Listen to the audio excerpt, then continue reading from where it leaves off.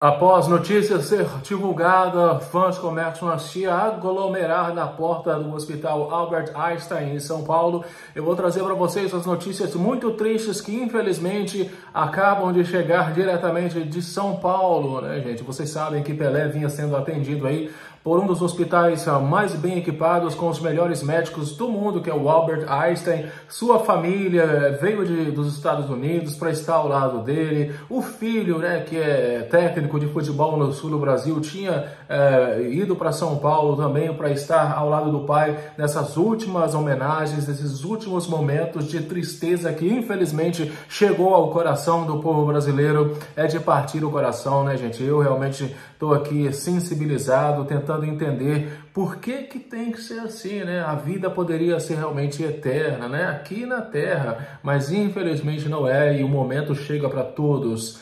E é algo que nós temos que aceitar porque é a decisão de Deus, né? E se Deus decide o fim, nós temos que aceitar e, e, e, não só ficar tristes, né? Mas agradecer a Deus também pela oportunidade que tivemos de ter aquela pessoa ao nosso lado, um familiar enfim, um, um, um ídolo, né, como é o Pelé, para tantas gerações do futebol. Mas antes que eu diga para vocês essa triste notícia que acaba de chegar do hospital, eu queria pedir para você se inscrever no canal. Se você ainda não é inscrito, aperte o sininho para as notificações e, claro, não esqueça de deixar o seu comentário, que é muito importante. O Ronaldo sempre responde dá coração para todos. Aí de baixo também vou deixar para vocês o link do meu novo canal, que, aliás, já está com quase 19 mil inscritos. Ronaldo Vida no Sítio. Gosta do conteúdo da roça? Quer ver o Ronaldo reformando a casinha dele na roça, no norte de Minas Gerais? O link está aí de baixo. Ronaldo Vida no Sítio. Esse é o nome do meu novo canal.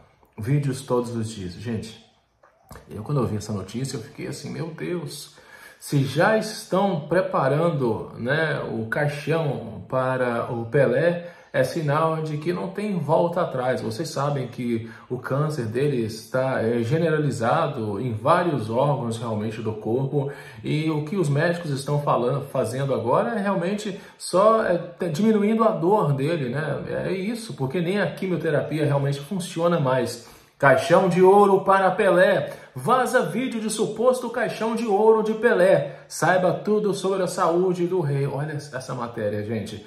Caixão de ouro estaria sendo preparado para Pelé.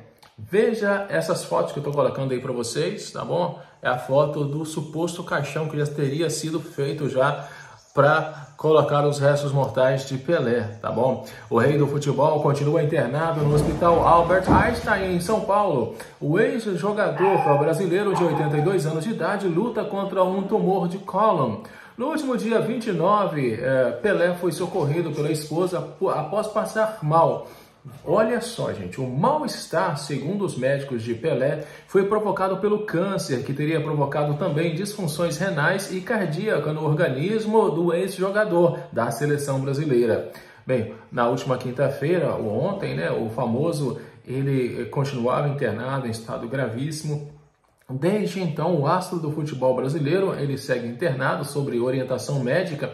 Agora, os médicos de Edson Arantes do Nascimento tentam reavaliar o tratamento de quimioterapia, que já não está acontecendo mais. Né? O quadro de saúde de Pelé apresentou piora nos últimos dias. Tá? Bem, sobre o caixão, gente. Na última sexta-feira, um vídeo registrando uma grande movimentação na Vila Belmiro, olha só, nas imagens é possível observar uma equipe finalizando uma urna dourada com imagens esculpidas de Pelé. O público logo associou o vídeo a um suposto velório de Pelé.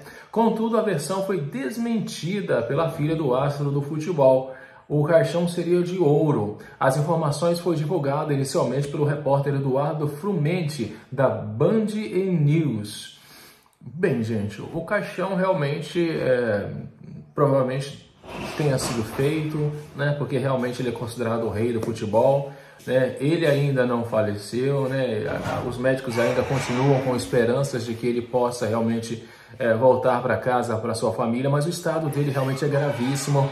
E o que nos resta é orar, pedir a Deus que faça um milagre na vida dele para que ele é, volte à vida, né? Porque se ele está com câncer generalizado no corpo, a única coisa que pode ser feita nesse momento é pedir a Deus um milagre. É só isso, nada mais. Fiquem com Deus, obrigado pelos uh, mais de 516 mil inscritos aqui no canal, mais de 118 milhões de visualizações. Não esqueça de se inscrever no meu novo canal, Ronaldo Vida no Sítio. O link está aí de baixo e nos vemos daqui a pouquinho no próximo. Até já!